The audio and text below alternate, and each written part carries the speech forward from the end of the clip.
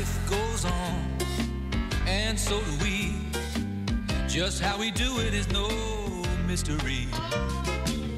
One by one, we fill the days. We find a thousand different ways. Sometimes the answer can be hard to find. That's something I will never be. I'm always here for anything that you need. Rain or shine, I'll be the one to share it all as life goes on. We share it all as life goes on.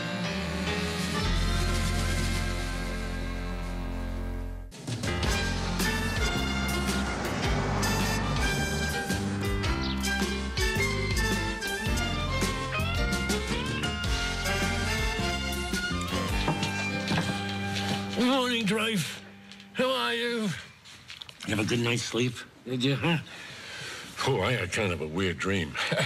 yeah, I, I was lecturing before a group of very distinguished physicians. and All I had on was my underwear. and I was so embarrassed, and I apologized to everybody, and then I flew out the window. Unfortunately, I hit some turbulence. My shorts blew off. Next thing you know, I'm with Michelle Pfeiffer sharing a donut. Morning, Daddy. Morning, sweetheart. How was your date last night? Well, he took me out to dinner at a very expensive restaurant, which he felt entitled him to certain liberties. So we discussed it for a while, and then I need him in the groin. Well, oh, honey, I'm sorry. Oh, don't be. It was one of my better dates. Morning, all. Morning, baby. What's up? Um, oh, your sister was just telling me about her uh, date. Oh, was that the guy doubled up on the lawn? Yes. He was cute. Hello, Weston. Gosh, gee, it's a beautiful day. The sun is shining, not a cloud in the sky. The whippoorwills. Score last night, Charlie? Bingo. You know, it's true what they say about Swedish babes. They love when you write dirty words on their bodies in aerosol cheese. Charlie, no one has ever said that about Swedish women. Anyway, that's not why I'm here. I'm I'm here to wish you folks happy anniversary. What anniversary? Today is exactly two years since Barbara and Carol moved back in the house. Really? Two years? Sure has gone by fast. Sure has. Charlie, why would you remember the exact date the girls moved back? Several reasons. One, when they moved back in, your refrigerator became worth raiding. Two, young women at the breakfast table, which means there's always the chance of a loose-fitting robe, a dropped fork. Charlie, out. I haven't finished telling you my reasons. Out. Just as well, I only had the two. Happy anniversary.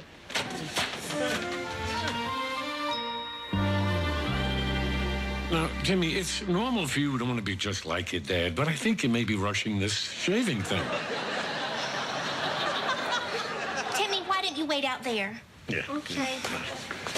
So is he okay, Doctor? Yes, yes. No, Timmy's going through what psychologists call identification. That's when a boy idealizes his father and wants to be just like him. Really? Oh, yeah, yeah. I went through the same thing myself when I was his age. I thought my dad was the greatest thing in the world. I wanted to be just like him. It's a perfectly normal phase. We all grow out of it. Well, that's a relief. What line of work was your father in? He was a pediatrician.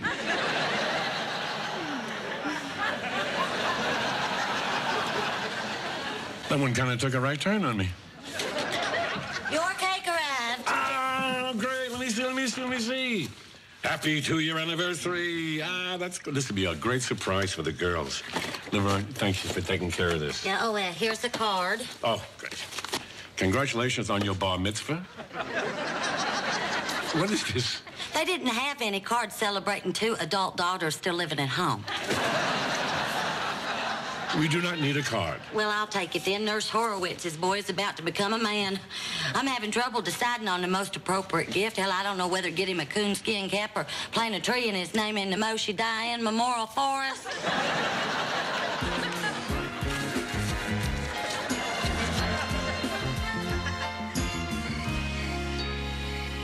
Hang on, Dreyfus. You'll have your dinner in just a minute. Two years, Dreyfus. Two years I've been living at home now. I mean, how could this have happened. This was supposed to be a transitional move. I was a little lonely. I needed a safe haven, a couple of months at the most. I was going to stay just long enough to get my career in order and meet the right man a professor or a psychologist, or maybe someone in the arts given to erratic mood swings. And here I am, two years later, living in the same house I grew up in. What went wrong? I mean, are, are there no good men out there? Or is it me? Maybe I'm not really ready for relationship. Maybe, maybe I'm still recovering from the wounds of my marriage. Oh, God, Dreyfus, it was so bad. The lies, the cheating. The amazing thing is that I was surprised by it. I mean, God knows he gave me enough clues. like that Freudian slip he made when he said another woman's name during our wedding vows. but I stayed with him for five years. I guess I was just scared of being alone. See, I've always, always been afraid of the unknown, of taking risks. That is the one thing I admire about Barbara. She just plunges ahead, never worrying about the consequences. I like to believe she can do that not because she's brave, but because she's stupid. You know, when I think about it, Dreyfus, my whole life boils down to playing it safe. And that's what I'm still doing in this house. Playing it safe. Hi, Carol. What's up? Nothing. Um, I'm gonna wash up for dinner. Would you mind feeding Dreyfus? Sure. Thanks. Oh, Dreyfus. Two-year thing is really getting to me. I mean, I always thought of myself as real independent, you know? But look at me. I'm 28 years old. I'm still living at home. Of course, I wouldn't have moved back if it weren't for that credit card trouble. Which really wasn't my fault. I mean, those cards are so pretty with the holograms and stuff. It's easy to forget you're going to get billed every month. Boy, a lot of real bad stuff happens once a month. Weird. Anyway, I've never been good with money. Not like Carol. She balances her checkbook to the penny. She makes me sick.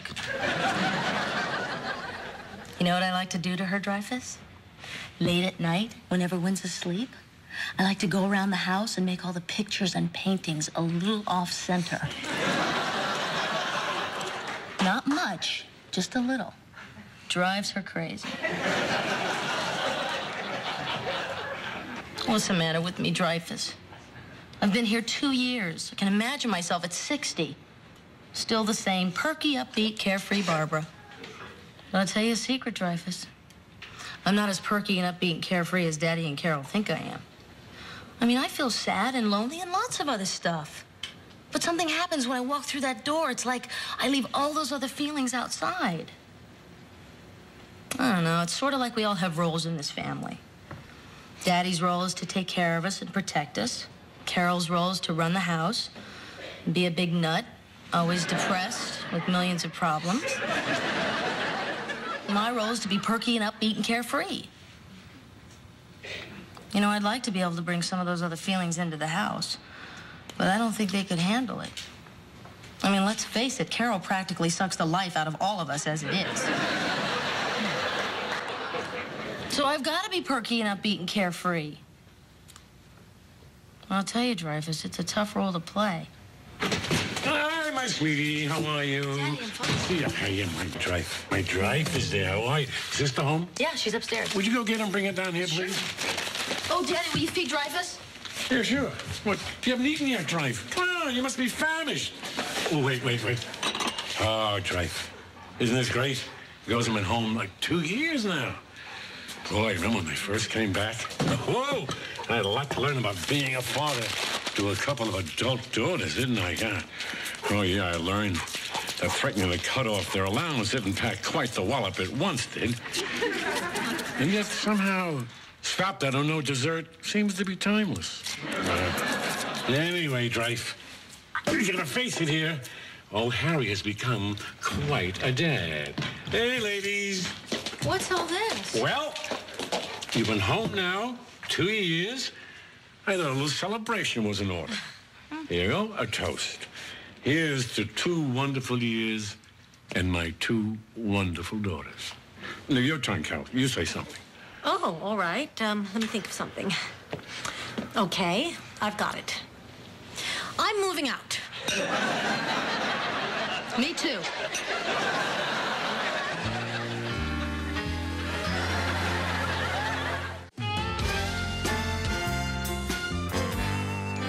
I don't get it. I, I was just toasting to two wonderful years with my two wonderful daughters, and you both suddenly announced that you're moving out? That's right. By the way, you're not moving out just because I said I am, are you? No, actually, that almost made me reconsider. Wait, I don't. I still don't understand this. Please, I mean, shouldn't we? Shouldn't we talk about this? It's just time to move on. It's for the best, Daddy. Uh. Oh, oh, oh what's going on here? Oh, like, oh, boy, drive, drive, Dreyf, drive Dreyfus, please. I, I, I, I gotta talk this through here.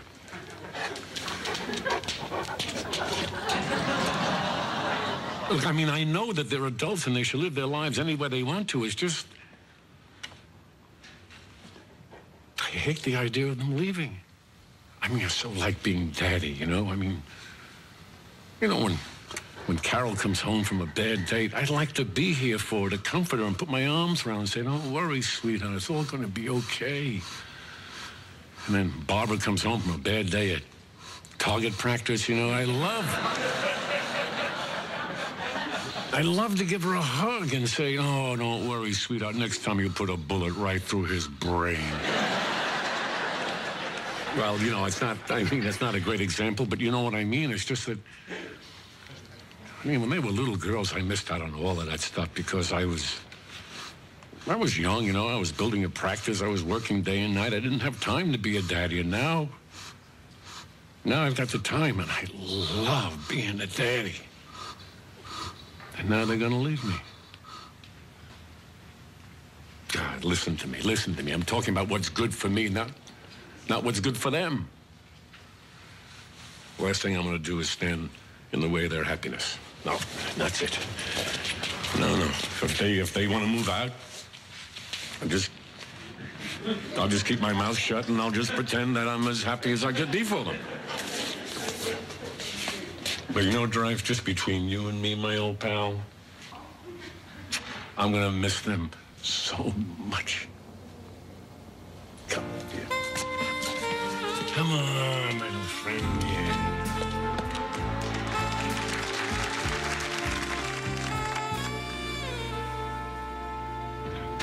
Hi, baby. Oh, you're up early. I'm off to check out a roommate wanted ad. Oh, really? Another one, huh? Yes, but this lady's ad sounds very promising, Daddy. 43-year-old non-smoking depressive female seeks like-minded roommate. to share a large, lonely two-bedroom apartment with view of cemetery.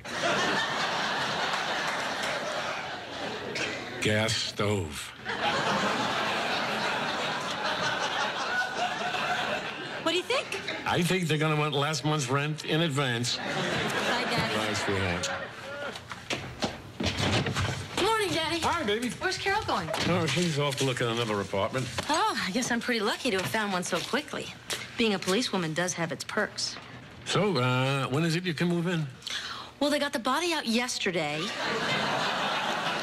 So now all they have to do is dust for prints, probably this weekend. Oh, sounds great. Oh, it's a really neat place, Daddy. It's got a nice patio and a fireplace. Of course, I'll have to buy a new poker. Half the fun is decorating. yes. Bye. Bye, sweetheart.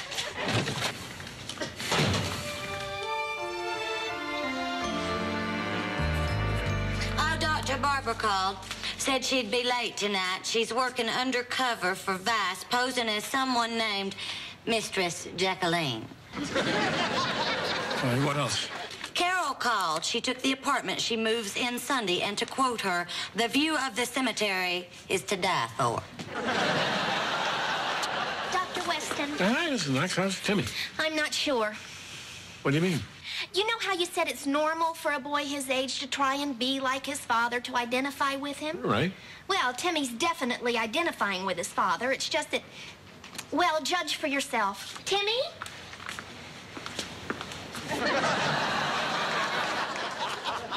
Harry, good to see you again. Well, Timmy, it's really good to see you, too. Uh, uh, what do you say you and I have a, a little chat? Good idea, Doctor. I'd like to talk to you about term life insurance. Let's face it, at your age, these decisions can't be put off any longer.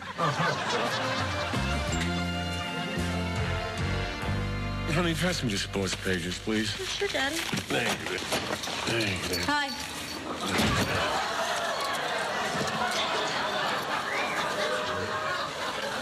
Barbara, dear. Uh, considering the fact that you're going to be moving out in a couple of days, you won't have to put up with your dear old dad much longer. Can I, can I say just one thing? Sure, Daddy. What the hell are you doing dressed like that? That is disgraceful. I like it. Out. Right. Daddy, it's part of an undercover operation. You wouldn't believe how many men want to be dominated. This one guy actually wanted to pay me money to lick my shoes. Good, dear. Details, just what your daddy wants to hear. I'll go change. The boxes out of the garage and start packing. Yeah, uh... Oh, Drive, did you hear that? You want to start packing? Phew, the girls are really going to move out. Well, I'm not going to let them. I'm just... No, no, no, no, no. They want to move out. I'm just going to keep my mouth shut. Carol, honey, you okay? I was starting to get the boxes when I thought about that man who wanted to lick Barbara's shoes. I know, dear. It's a very, very upsetting thought. You're telling me I can barely get a date. She's got men tongue kissing her footwear. Oh, Carol, honey, come on, baby. No, sweetheart, I'm sure there are lots of men who would love to lick your shoes. Baby, wha- wha- what about the guy the other night, the one you need in the groin? He wanted you. You're right, Daddy. He did. He wanted to do some terrible things to me. There you go. Come on, now you dry your eyes, baby. I'll go get the boxes for you. Oh, God, he's a wonderful father, Dreyfus. I'm going to miss him. But I have got to leave. It is absolutely essential that I move on. Although for the life of me, I can't remember why. oh, yes. Playing it safe. I have got to start taking risks. Though I don't know why I can't start taking risks while I'm still living at home. I mean, doesn't it make more sense to take risks while you have the support of a loving family around you? But obviously, Daddy wants us to leave, or he would have tried to stop us. Wouldn't he? Here you go, baby. Uh, what do you want me to do with these? I don't know, Daddy. What do you suggest I do with those moving boxes? Honey, I promised myself I was not going to open my mouth, but now that you ask me, I think that you should just please stop packing and Yes, Daddy? hire a couple of movers. Thanks, Daddy. That's a good idea. Oh, Daddy, I could use some of those moving boxes. Oh, okay, I'll get it. Did you see the way he yelled at me before? So sweet. I like it when he does that. I like it when he worries about me.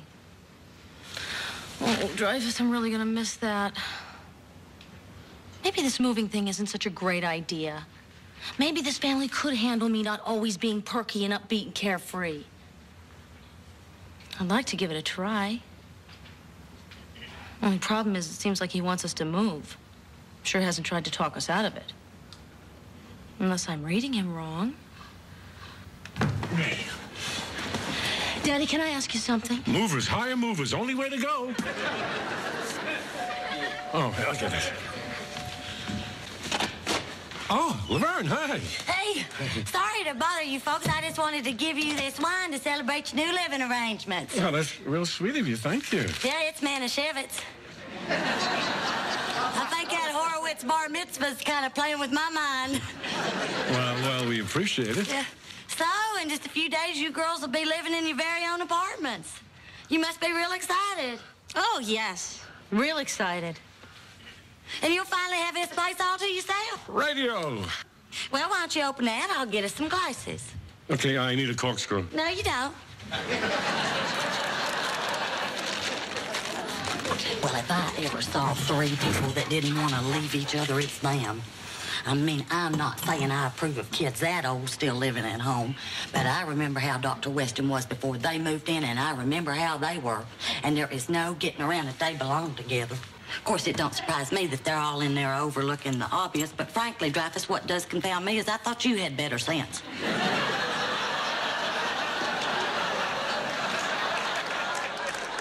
Laverne, you only have uh, three glasses. I know I've got to run, things to do. L'chaim. Well, here you go, girls. Let's go. We'll have a little farewell, a little bon voyage, and a little toast to your move. This Dreyfus, what is it? Daddy, what's wrong with him? drive. Well, you know how sensitive he is. He's just kind of upset that you're moving out. I bet you're right. That makes sense. Well, he'll adjust. Why chance it? I'm staying. Me too. What? Don't make us go, Daddy. Go, I'm not making you. I didn't say I hate the idea of you leaving. You do? Why didn't you say something? Because I thought you wanted to leave. Not anymore. We want to stay. I want you to spray too. hey, this is great. Oh, good. Come on, let's toast. Mm-hmm. Welcome home.